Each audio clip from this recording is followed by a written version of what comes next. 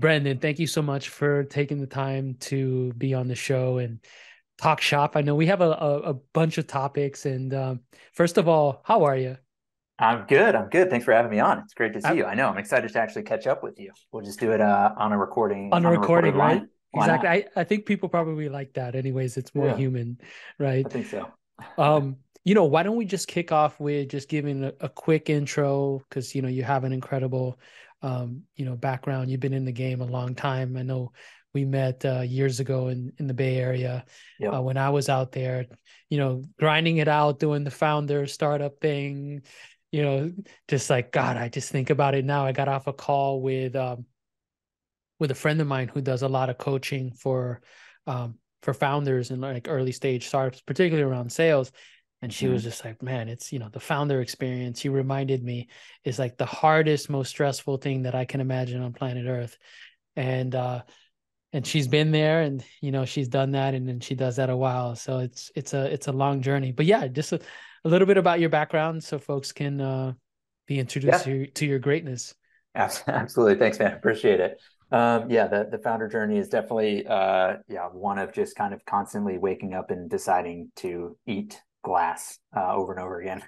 I think I think Elon said that or someone. Uh, and uh, yeah, it's it's fairly accurate. I think most days are are like uh, down days. Most days are like things are breaking, or when things are going well, it's so good that it's starting to break other things. And so, um, yeah, it feels like startups are oftentimes, you know, ninety five percent of things that happen or maybe more than 50% of things are losses and you're just kind of counting those wins and hopefully those wins 10x uh, the the setback. So um, yeah i mean it's definitely definitely i'd say like the the challenge is less technical and more like an emotional challenge uh, on many days.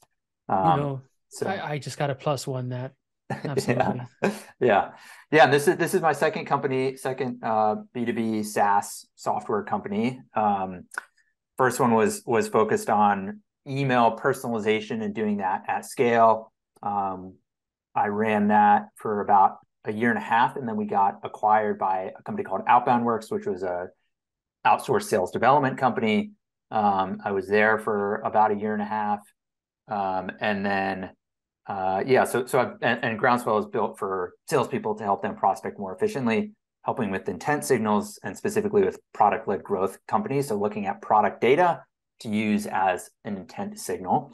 So I've I've been kind of in and around building products for salespeople and more specifically for prospecting. Um, so SDRs and AEs that prospect. Um, and then yeah, the last thing I mentioned, like before I was an SDR, that's how that was my first job out of college. Um, I didn't know what that was when I got the job. I think it was called something different, but it was an SDR gig. Yeah. Um, and then I was there for about a year. It was actually miserable. I did not like it at all. Um, and then I joined a, a, startup as an SDR in San Francisco, and I loved it. Uh, and it was just the culture was night and day different, um, and it was also a very high growth company. So I was the first full time employee, started as an SDR effectively, and then started closing deals. I would kind of onboard them and support them as well. So it's kind of the full full cycle um, and then just over time grew that company um, to about 10 million in revenue and built out the sales team, the SDR and the AE function there, um, and ops, and, and kind of learned some ops stuff there um, just because I had to. Um, and so that was, I, I, say that was like my MBA. Uh, that's that's like where I really learned those those three or four years was like where I really learned how a startup works, going from you know basically zero in revenue to 10 million in revenue, and the first employee to 100 employees, like that growth trajectory if somebody's lucky enough to be on you know that ride uh stay stay there as long as you can because you just want to learn as much as you can um, when there's that sort of trajectory at a company um, so yeah it's been it's been a a good experience for me and yeah i mean it's just basically been a decade in b2b saas awesome yeah i remember yeah. outbound works shout out yeah. to ben and uh, yeah. uh, and that whole crew over there uh, i remember doing a video uh, for for you guys at the True Ventures office. That's right. This yep. was uh, Lars and a bunch of folks because I think Lars is still involved with with True Ventures.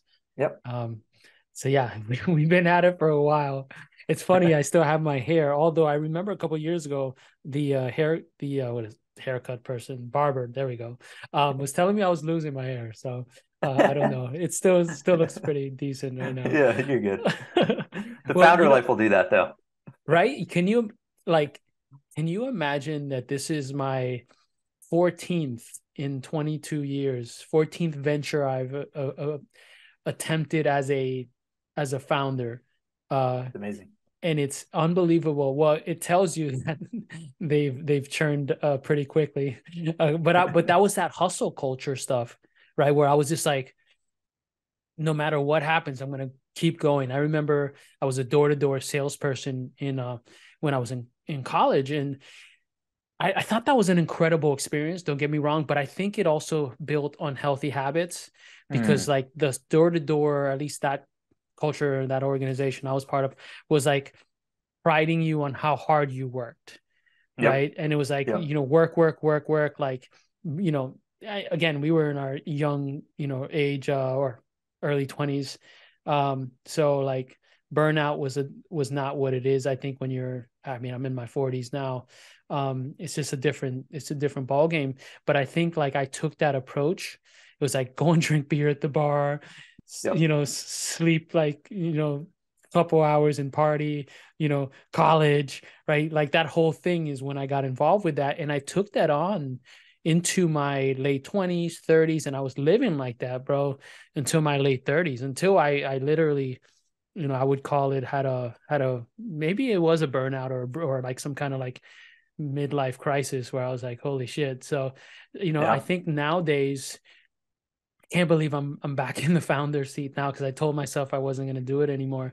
But after 14 times, I think now it's like, how do we build sustainable habits, right? Because as you know, brother, like you you're going to pivot a thousand times, you're going to keep yep. going, and your ability, you said it earlier, to to keep that even keel emotional state is, I think, probably the most important thing because you can't make good decisions, right, when you're just like out of it right yeah. and and you can't get out of bed or whatever it is or you're out of bed but you're just like super overwhelmed you know any yeah. tips that you would give founders around that yeah i mean i i, uh, I can share a little bit about, about my experience. I think uh, more importantly like i i uh, definitely spend a lot of time thinking about reading studying founders that are you know further up on the the ladder so to speak than me you know further along in their founder journey. Um, and I was actually talking to one uh, a couple of months ago, maybe a month or two ago, and and I was kind of sharing this thing of like, man, I've like worked really hard. I had a kid 10 months ago. That kind of changes my perspective a little bit. Um, but like the reality is to build a big, fast growing company, you do have to work very hard. And I was kind of wrestling with this with him and saying, like, how do you think about this? This is a, a founder of a company that um, eight years old. They're a multi-billion dollar company, still private. Um, they will be a very, very large public company. Um, and talking about the CEO there saying, you know, I, I, was like, how do I just grind for eight, 10, 12 years? Best case scenario. Like, how do you think about putting yourself in that that mindset? And he was like, I would actually completely flip it. I would say you can't grind because if you want to be around in 12 years, you won't last. And so that was actually really refreshing coming from like literally the 1% of the 1% in terms of companies that have made it, have been successful. This person has worked very, very hard. They have, by all metrics, succeeded in the startup game that we're playing here. Uh, and he was like, look, you just have to spend time with your kids, with your body. You know, you need to be healthy.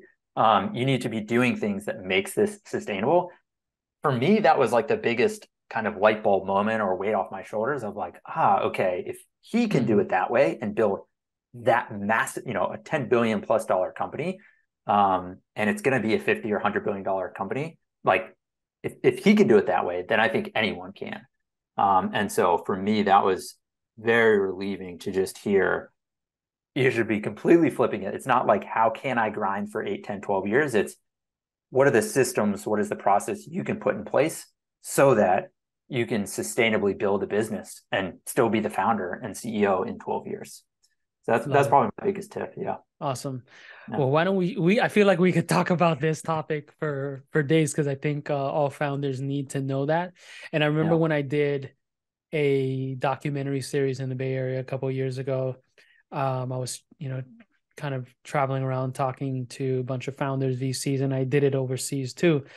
That was the main thing. It was like every CEO you talked to had like a meditation practice, mm. had like some kind of workout routine. They were like, I need that to be able to get in the zone. I think work remote work can also be a little challenging sometimes as well because you know you're just like um in your bubble right yep. and um and i don't know that's a, i guess that's another topic for another day, day. Yeah, i just had a convo about that too yeah totally there's there's no in and out of the office so it kind of never turns off right and especially with slack on my phone all day like i could be exactly. cooking dinner at seven o'clock at night with my wife and kid and see a slack message and get distracted and actually i don't think that's healthy obviously for my family, but it's also yeah. not healthy for the business. Like you want to unplug. And the, the last thing I say about this is one of my friends, founder friends, talks about this as like you need to treat as a founder, you need to treat yourself as like a professional athlete. So across all all kind of metrics is like, you know, mentally, physically, spiritually, emotionally, like all of these things, you need to be thinking about deeply how do you kind of hold yourself to the highest bar and like rest is an important component of that resting at night taking time off. Like these are kind of cliche things that it's easy, even in the moment. I'm like, ah, but like I got to keep grinding. Like this yeah. is an important season of the company. In reality, like the most important thing you can do is take time off, step away. When you come back, you'll be 10 times more productive. So it's a cheat code to be more productive, um, is is the way that I justify it to myself.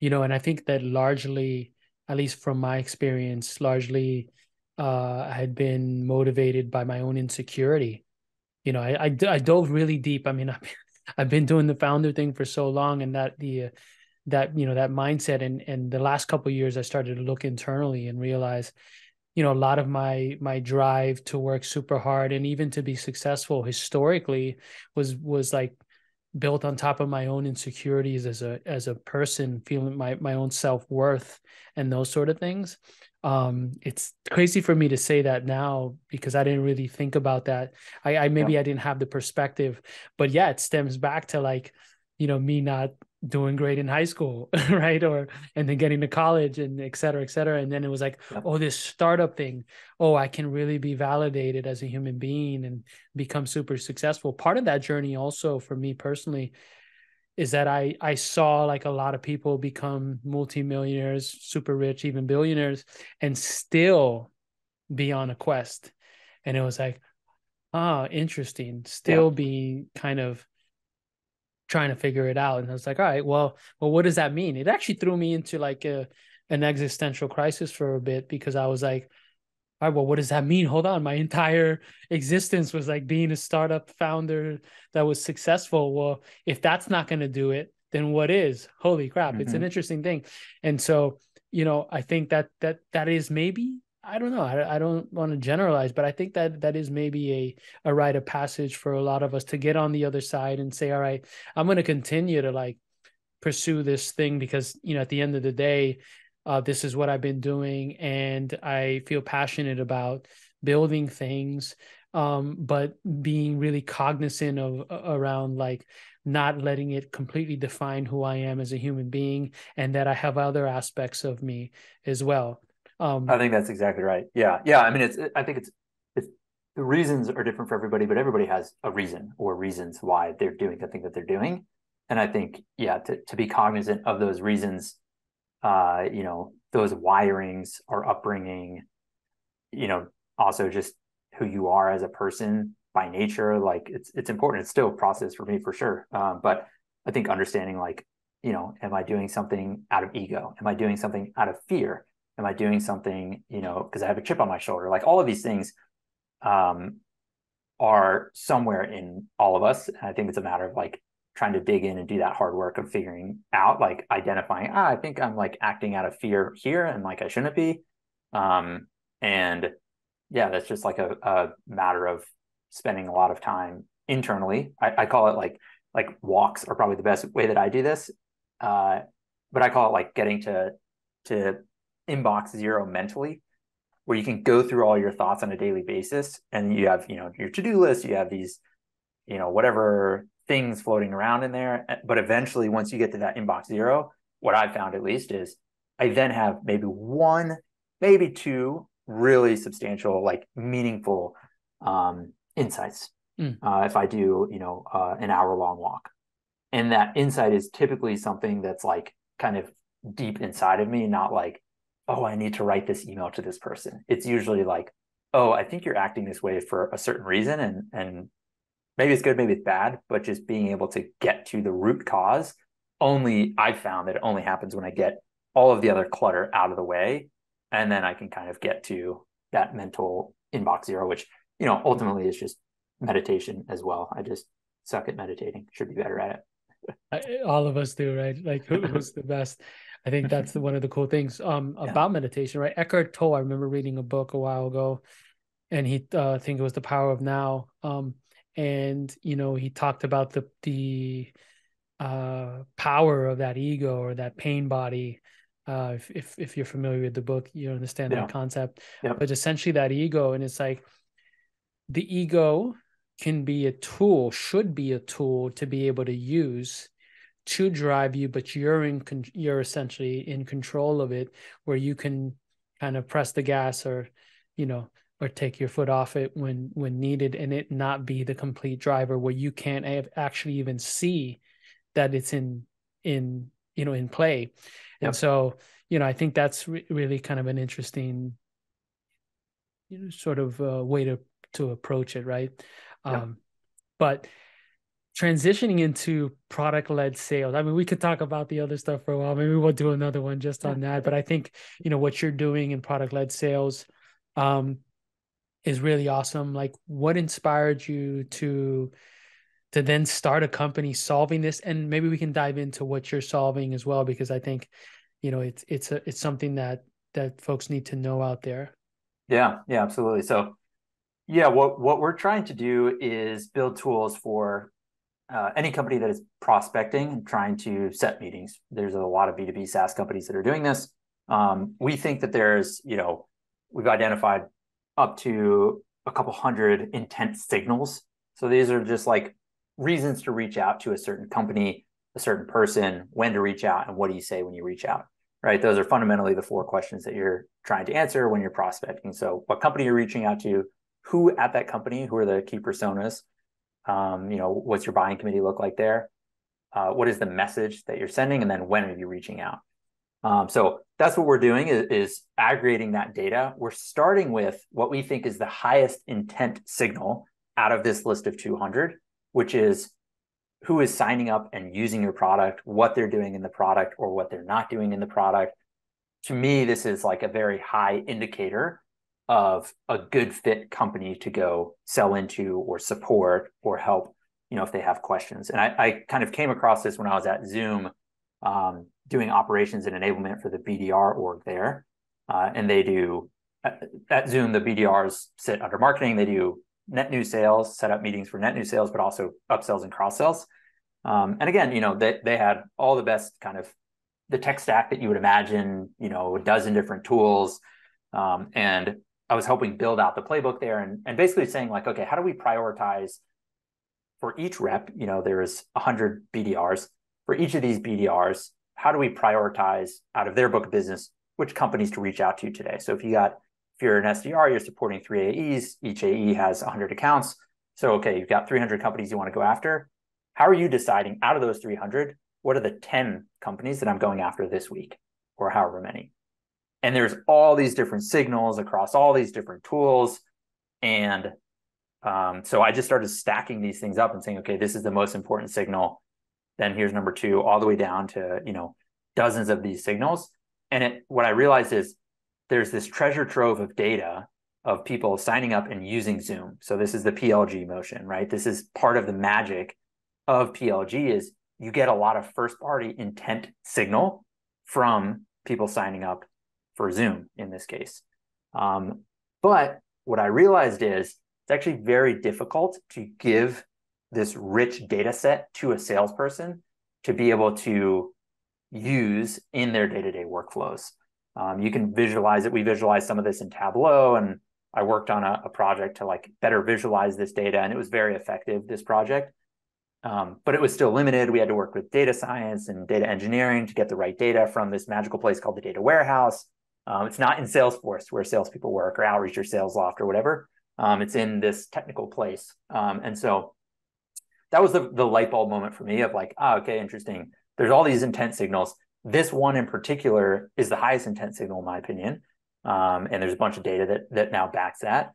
But then there's all these other signals, and so we we chose to to go after kind of the wedge into the market is this product data, and we're starting to now expand our offering to include other intent signals outside of just product. But that was kind of the genesis of how I kind of came across this and why we started where we started. Well, let's talk a little bit about product led sales. Like, what is it, and what should you know revenue leaders out there be sort of looking into, right? Um, yep. You know, especially around being able to start to plan for it and implement for it, or decide whether they should pursue this type of strategy uh, altogether. And you know, we get a lot of pushback from like direct sales organizations or organizations that say, "Oh, you know." PLG or whatnot, you know, mm-hmm. uh, my product, you know, is not sellable that way, or you know, it needs a mm-hmm. salesperson to be able to do that, you know, because it's a larger deal size. Uh, what would you tell those folks? Yeah, definitely. So I, have I've got a lot of thoughts on this. I'll, I'll share three with you. So number one, I would say just to define it, um, product led sales is basically just bottom up and top down in combination. So PLG is bottom up this is where you can sign up on a website and start using the product without talking to anybody. Um, another way to define PLG is just the primary go-to market motion is by having the product be the first thing that somebody interacts with, as opposed to a salesperson doing a demo, for instance. Um, so PLG is just, or product-led sales is just a PLG motion, and there's salespeople, and you're marrying those two motions together. Um, that requires a lot of data. That requires a mindset shift that we can talk about for salespeople. Um, that also requires a lot of cross departmental organization and opera, opera, operationalization uh, of that data. Um, and so I think that's th- these are like some of the challenges um, when you're trying to operationalize a product led sales motion. And so um, I'd say also the so so to the person that says like, do we need this? First of all, um, just like to dispel any upfront things upfront, like PLG does not replace salespeople. Um, PLG is a way for more qualified leads to come into your funnel. I saw this firsthand at Zoom. We had 100 BDRs. There were 1,600 AEs at Zoom. Zoom is a very easy product to just get started as a PLG product that doesn't mean that they're going to self-serve their way into a hundred thousand or a million dollar contract.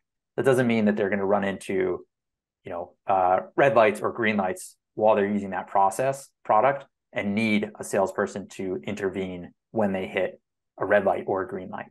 Um, and so PLG, and I've heard this, uh, by the way, from AEs at PLG companies, they say like literally, I'll never sell at a company that's not PLG because you're getting these people that are further down the funnel. They may be using your product for six months or for two years before you talk to them. So you're getting these people that are very familiar with your product. They're already either, you know, they've been using it for a while. Maybe they're paying a small amount, but they're not using a certain other product or they're not, you know, they haven't shared it across their whole team.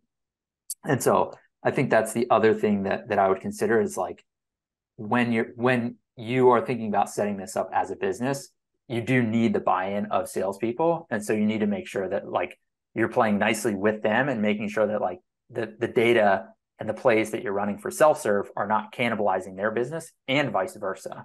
Um, so that would be the other warning that I would mention. Let's talk a little bit about AI, generative AI. You know, we can't ignore it at this point, right? yeah. Um, nor should we you know it's it's definitely something that uh, we've thought a lot about uh, just here at on this new venture at AssetMule, and you know our our domain is .dot .ai because we you know we we do understand that that um it's uh it's going to be something that that's super valuable and that we need to layer on the product. We thought a lot about like where do we start? Do we just mm-hmm. build AI or do we start to understand kind of the workflows and the pain points uh, that that you know we're solving and then layer on AI on top of it to be able to then take that to another level. Um, yep. So that's kind of how we've thought about it. What's your, you know, sort of opinion? I know you have a new product out as yep. well that focuses on on uh, on the yeah, absolutely. So I, I call me uh, in the camp of like uh, for AI and like very very bullish on it. Um, I think it's the biggest technological shift in the past decade. I don't think we'll see a bigger technological shift for another decade. Um, so I think it's going to touch everything. Um, I think there's going to be a bunch of AI companies that pop up. I think actually what's more interesting is pretty much every, you know, a vast majority of of companies are going to start using AI um, in their products. So it's it's less about like a bunch of new AI companies, although that will happen, and more about the proliferation of this technology. Just think about it as a new hammer, a new tool for companies to use. They're going to be able to use this hammer with their existing product.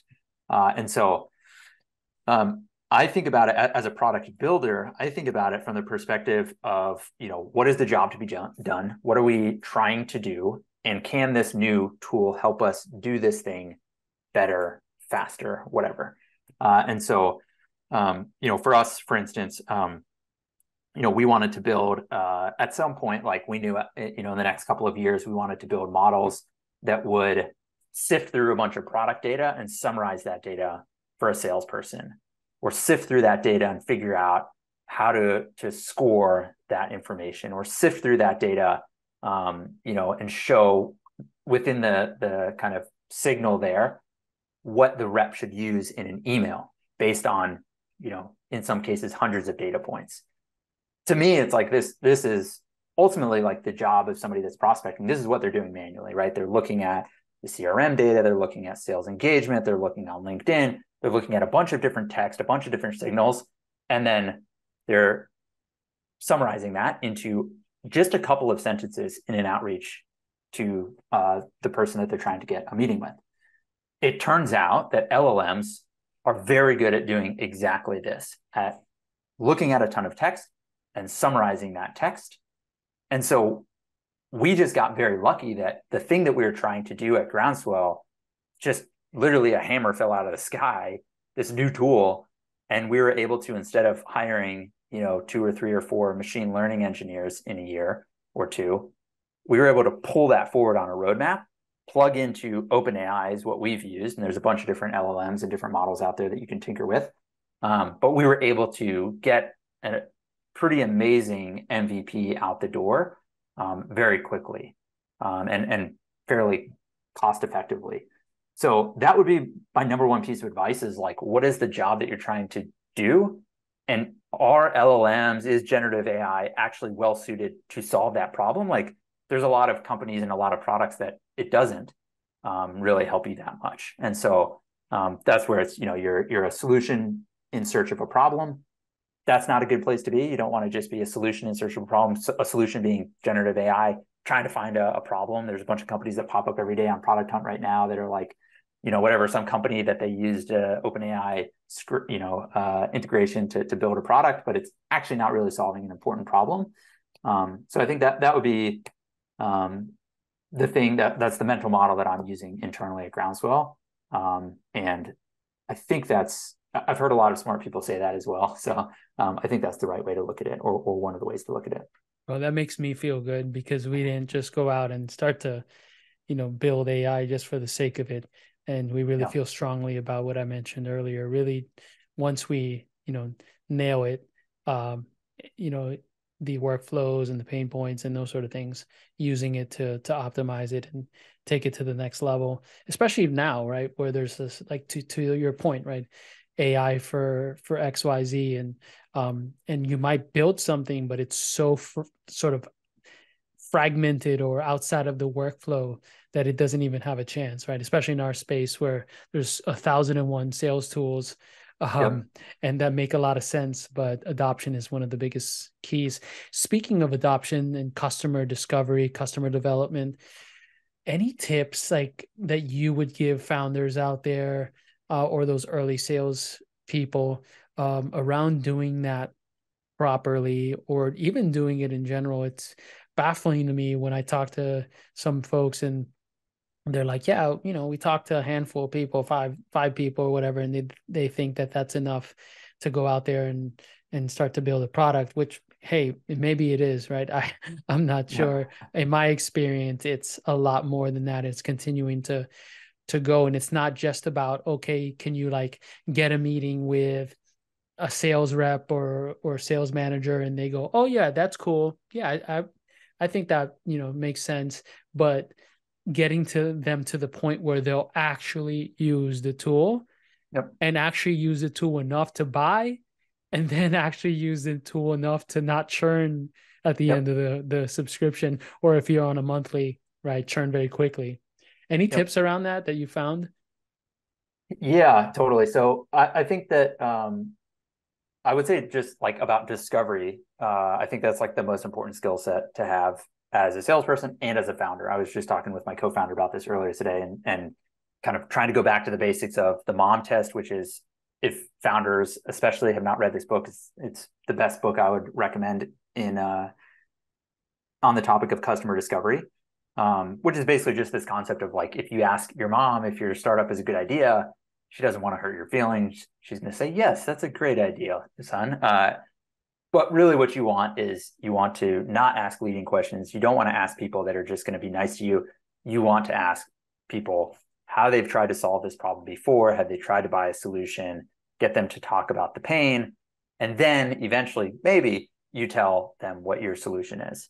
Um, I think that's very relevant. I, have got a sticky note on my computer right now that that uh, is discovery questions uh, from Chris Orlob, who puts out a bunch of good content around discovery.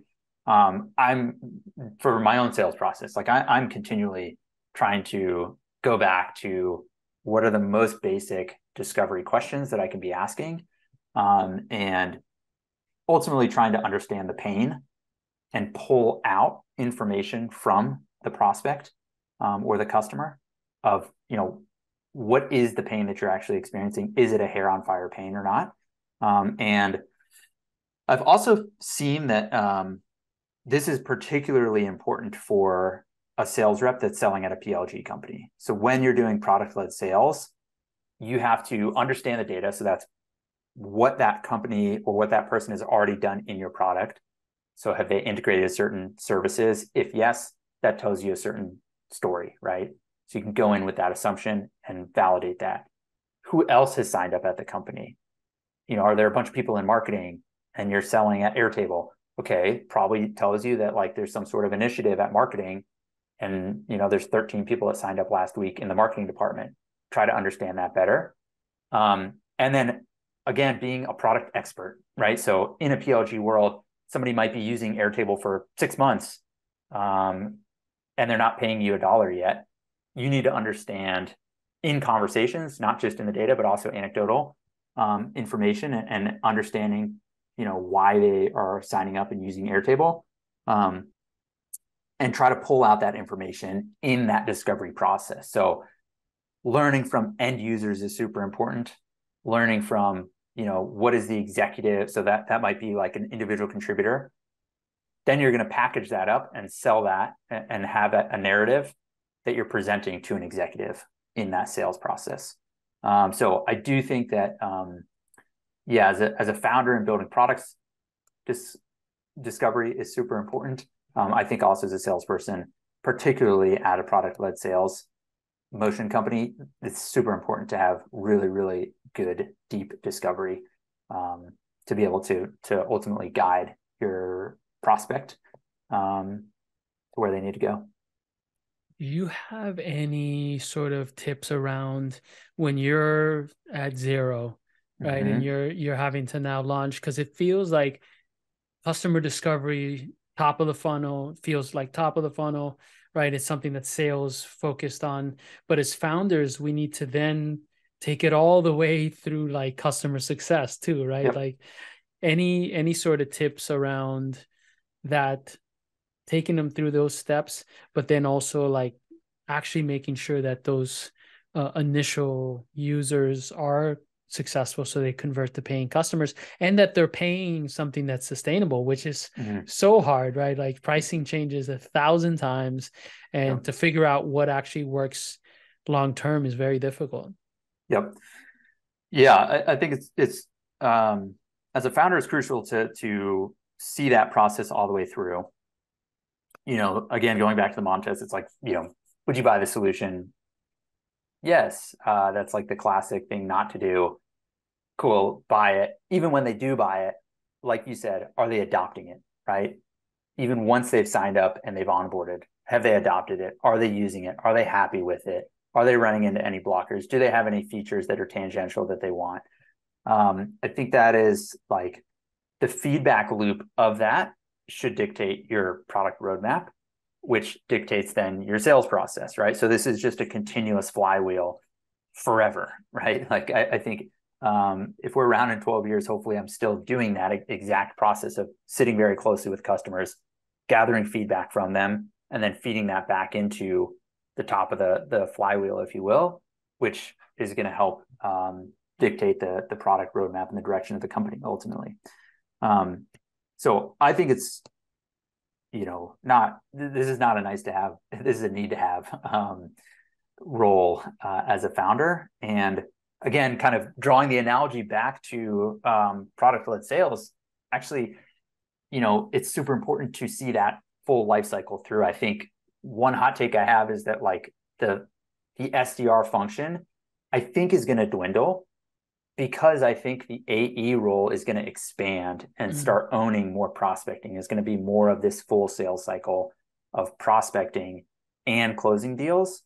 Um, I think AI powered tools are going to be one of the reasons um, for this shift. I think the inefficiency in prospecting, the growth at all cost model that is now behind us, um, this is another factor um, for this. I also would go as far as to say I think we're going to see at least in the the SMB and mid market, we're going to see reps that not only prospect and close deals, but they also maintain those relationships. Uh, and so, especially in a PLG world, you know, you might close a deal for 500 bucks a month, but the potential deal size is $5,000 a month.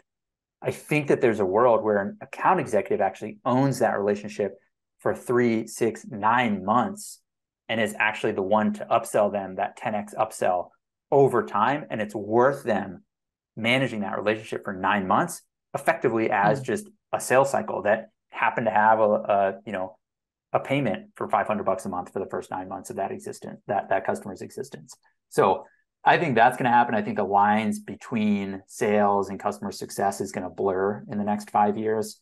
Um, and so, um, yeah, I think not only is it important to, to be able to get that customer feedback and feed it back into the product, um, and obviously serve your customers as well. Um, I think it's also just going to blur as we go forward, where you know the line between is it a customer, paying customer, how much are they paying? Like this is all just going to kind of blur, especially at PLG companies. Awesome. Brendan, thank you so much for taking the time to chat and talk shop here today. Uh, this is super helpful. If if folks want to follow you on social media or learn more about Groundswell, or maybe even use it, maybe we can start out with like what types of folks out there, personas or company types, would be uh, benefit or could benefit from using Groundswell. Yeah, so so right now we're focused on any B2B SaaS company that has a bottoms up motion. So you can sign up and start using the product on their website, and they have a sales team. So they have at least a couple of reps. Um, if, if that's you, you're probably thinking about people that are signing up and how do I reach out to those people in a more effective way? Um, how do I understand that data? Um, those are the types of companies that we're working with today. And then we're starting to, in the, the next couple of months, we'll start expanding into looking at signals, not just from product data, but also from your CRM. So we'll, we'll start with Salesforce and HubSpot, and we'll start kind of finding data within your existing CRM. You don't have to buy any more data. We're just going to be sweeping your CRM to find interesting leads um, for you to go after. So um, yeah, in the next in the next month or so, uh, if you're a a PLG company that also has a sales team, so product led sales. Um, yeah, come check us out. Try groundswell.com is the best place. We got some videos on there so you can just look at the product. Ironically, we're not PLG ourselves, um, which we didn't get into, but for another conversation. Um, and then, yeah, if you want to reach out to me, connect with me on LinkedIn. Um, and uh, yeah, shoot me a message. Always fun to jam with people. Awesome, brother. Well, have a wonderful, wonderful day. And Thank I got to come out to Austin again and check you out. Come on, man. We'll grab some tacos. Great to catch awesome. up. Have a great day. All right.